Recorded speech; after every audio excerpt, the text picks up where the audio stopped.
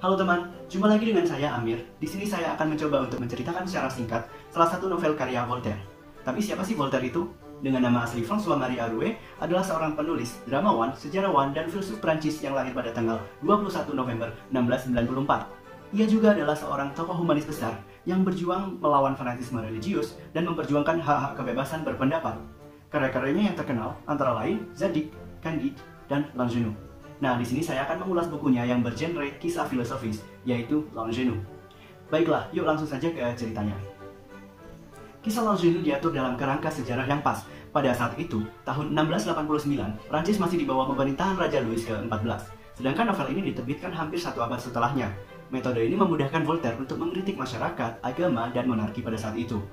Cerita dimulai dengan biarawan dan Mademoiselle de Kercabon yang berjalan-jalan di tepi pantai dan berduka atas kepergian saudara mereka yang telah pergi ke Kanada.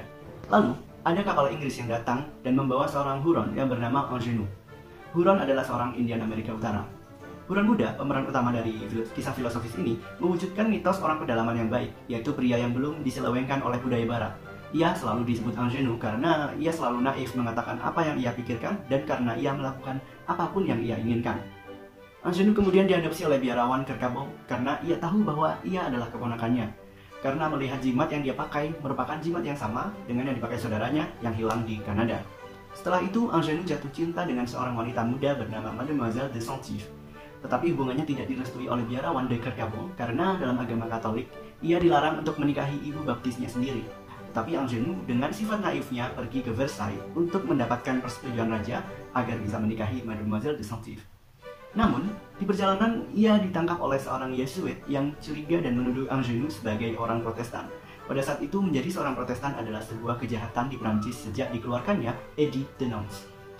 Ia tinggal bersama seorang Jansenis yang bernama Gordon di dalam penjara. Ia diajari untuk membaca dan mengembangkan diri. Lalu, biarawan, Mademoiselle de Kergamo dan Mademoiselle de Saint-Yves pergi ke Versailles untuk menyusul dan mengeluarkan Angenu dari dalam penjara.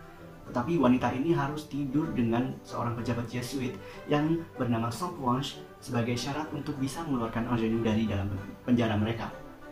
Dia mengorbankan kesuciannya demi melakukan kebaikan, melepaskan Angenu yang dicintainya.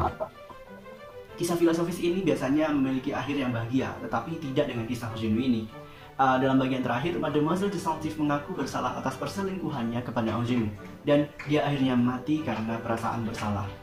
Orang yang bertanggung jawab atas kematian ini yaitu Blanche yang dianggap tahu pertobatan, kemudian muncul dan menawarkan Angenu dan karakter lain uh, situasi yang menguntungkan agar bisa dimaafkan. Kisah ini memperbarui genre dengan memberi akhir yang kompleks yang bernuansa oposisi antara karakter baik dan buruk. Lalu apa saja tema-tema penting di novel ini? Yang pertama adalah mitos orang savage yang baik, sesuai dengan gagasan bahwa manusia pada dasarnya baik sebelum dia dibeberkan oleh masyarakat Evolusi Angenu yang dari orang savage menjadi seorang intelek berkat membaca buku selama ia ditahan, ini merangkum konsep manusia ideal menurut Voltaire. Kepekaan manusia dan kualitas alami harus dilengkapi dengan pendidikan intelektual yang melibatkan membaca. Dan yang kedua yaitu kecaman terhadap kekuasaan kerajaan. Kisah ini terjadi pada masa pemerintahan Louis ke-14. Tapi jangan salah, di belakang Louis ke-14, Louis ke-15 lah yang dikritik oleh Voltaire. Pengadilan Versailles adalah ruang yang korup dan tidak peduli terhadap penduduk. Melalui ditangkapnya Angenu, Voltaire mengecam penyalahgunaan kekuasaan dan mekanisme surat perangko yang memungkinkan raja dan pemerintahannya untuk memenjarakan subjek pada surat sederhana tanpa adanya sidang. Angenu dan Gordon menanggung beban keadilan sewenang-wenang ini sehingga mereka bertanya-tanya, jadi tidak ada hukum di negara ini? Dalam bab ke-14. Kisah ini dengan demikian menggambarkan ketidakadilan masyarakat monarki yang menentang hukum alam yang berbudi luhur yang diwujudkan oleh Angenu. Voltaire menunjukkan bagaimana masyarakat ancien regime merusak kemurnian sifat manusia. Dan yang ketiga adalah Angenu juga berisi kritik terhadap agama. Voltaire memilih sudut pandang Huron yang naif untuk mencela absurditas dogma agama. Voltaire juga mengkritik Jansenis, sebuah ordo religius yang menentang Yesuit. Gordon, karakter simpatik, tentu saja Jansenis, tetapi Voltaire membuatnya berevolusi. Dalam bab ke-11, Gordon menjadi sadar akan kesalahan agama yang dalam um, menghadapi Angenu. Di akhir cerita ia menjadi bijaksana dan melupakan Johnsonisme. Nah, seperti itu ya teman, rangkuman singkat dari novel L'Ingénu karya Voltaire. Baiklah, sekian dari saya dan terima kasih dan sampai jumpa kembali.